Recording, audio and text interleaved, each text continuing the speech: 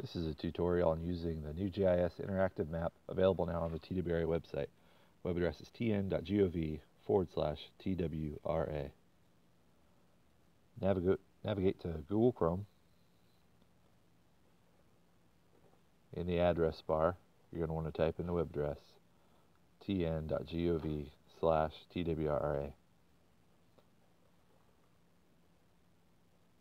Once the page loads, you'll want to click on the Maps picture.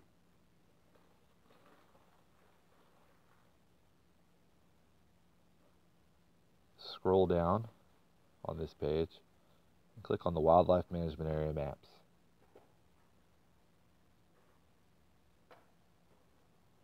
Scroll down, you'll see a big image of the state of Tennessee. You'll want to click on that to view the interactive map. It may take a little while to load.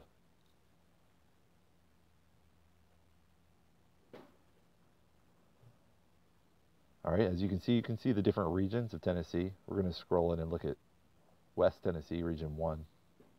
The green areas you're seeing highlighted are wildlife management areas and huntable lands. Uh, the red areas uh, are often TWA fishing lakes, safe boundaries where you cannot shoot, cannot hunt. We're going to scroll in on Natchez Trace, click on it, it'll give you some information including the acreage, uh, whether you can hunt there or not, the name of it. We're going to close that but we'll zoom in a bit with our mouse wheel.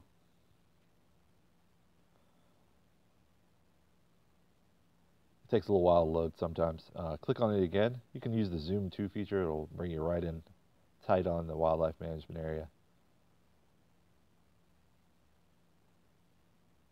We're going to zoom in over here and look at a small area of, of the WMA.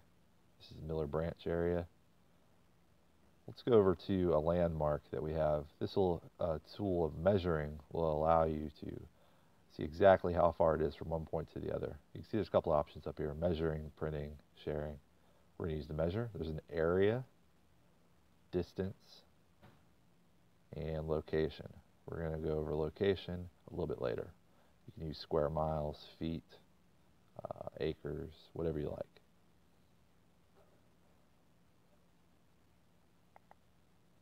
Let's go ahead and do some distance. We'll measure from this tree line to any given point.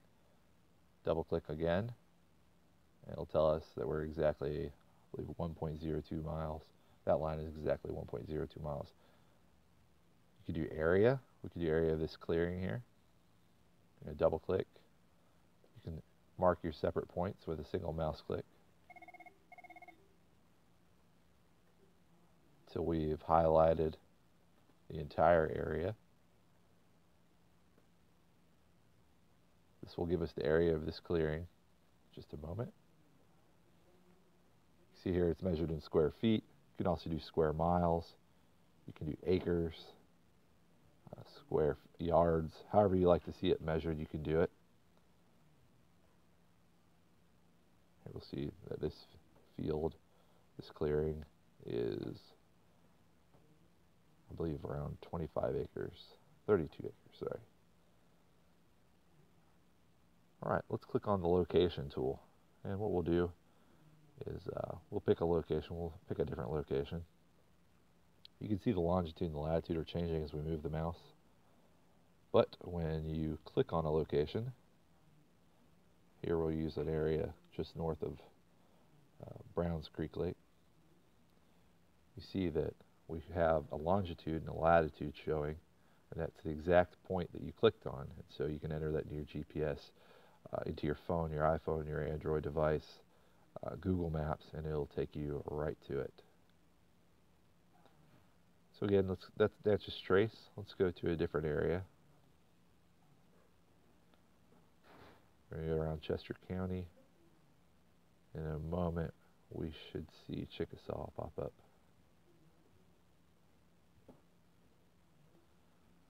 It's a little slow sometimes, depending on your computer and your connection. Scroll in, though, we should find it here any second. It's being finicky. There it is, highlighted. Okay, so this is Chickasaw. What we're going to do is we're going to use the base map option. Select a base map. what this is going to do is we're going to change the overlay behind it. There's a lot of options here that we can choose from. Imagery, streets, topography. What we're going to want to use is streets. This is going to allow us to see an overlay that's similar to Google Maps. So let's say we are looking for a turnoff. We can zoom in. We want to hunt this area over here. Sc scroll in. We can see that here's Tennessee 100 and it meets up with uh, this road here. We can do distance again, we can do location, we can put our exact location in there so we can get GPS coordinates and get directions there through Google Maps or any other uh, software you have that's GPS enabled. Let's close that down. Zoom back out a little bit, pick a different point. We're going to be able to print now the print option will not always work perfectly. You may have to zoom out to get everything that you want into the picture. But when it loads, now we have a printable map of the area that we had selected. We can see the Chickasaw Golf Courses up here. Uh, we can see the boundaries. Alright, let's change back to a different overlay. Let's use topography. And now you can see the elevations and the different areas of Chickasaw WMA. You could print it, you can do any measurements that you want, just like you can in any of the other base layers.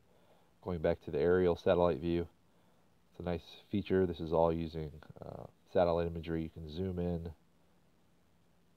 as far as it'll let you and get a good idea of what uh, the area that you want to hunt actually looks like. You can see that we've got a clearing here this looks like it may be even a tree, like in the middle of the clearing. So you get a good idea what's out there. Some of the satellite imagery is a little bit old, but it still gives you a very good idea of what the land looks like. And that was Chickasaw. And that was using the GIS application available on our website. Let's go over and look at one of the more popular areas in West Tennessee. That'd be President's Island waiting right now, hoping it'll load. There it is. Southwest of Memphis. It's President's Island WMA. See it's highlighted. Click on it. Gives you the size. You can hunt on it, yes or no. Again, you can use any of the features here you want. You can add different overlays. Uh, you can zoom in to get an idea of what the terrain is like.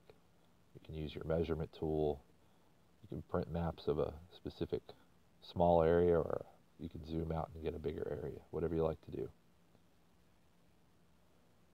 This is all available through your, uh, your iPhone as well as uh, an Android device. If you have GP, GPS enabled, you'll be able to actually go in and see it on your phone. It'll show a little blue dot where you are overlaid onto the map. That's all for now. Thank you.